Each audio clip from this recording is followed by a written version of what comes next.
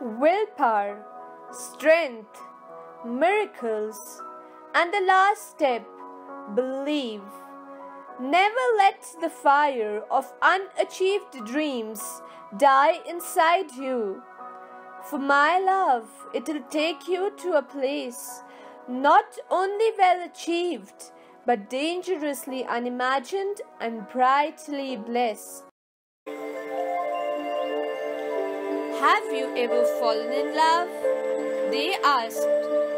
Yes, I replied.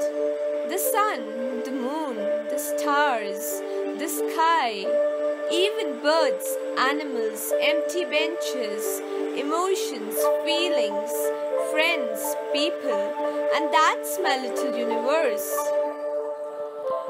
Everybody falls miraculously in love, and it has an end too.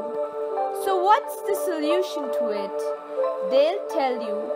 Atharv and Alessia, two best friends, try to keep their infatuations embedded, for they believe friendship is the only wristwatch which does not run out of time, yet cannot stay. Were they able to make it timeless and pure? Let's find out.